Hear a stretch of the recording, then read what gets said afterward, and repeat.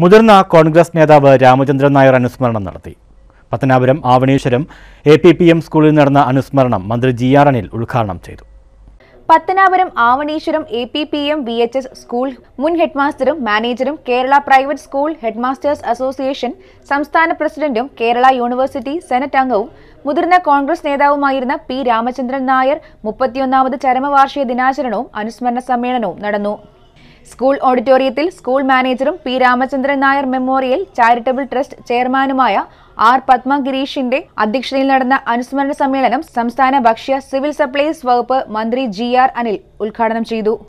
നമ്മുടെ സമൂഹത്തെ ബോധപൂർവമായിട്ടുള്ള പ്രവർത്തനങ്ങൾ പല കേന്ദ്രങ്ങളിൽ നിന്നും ഉയരുന്നു.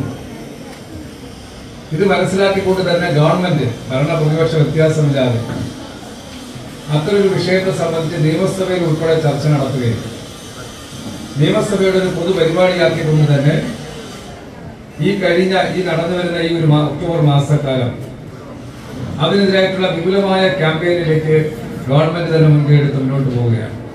മുൻ M L A K Prakash Babu സൗജന്യ ഡയാലിസിസ് പദ്ധതി ഉദ്ഘാടനം ചെയ്തു. I N T U C സംസ്ഥാന പ്രസിഡന്റ് ആർ ചന്ദ്രശേഖരൻ ചികിത്സാ സഹായ വിതരണം നടത്തി.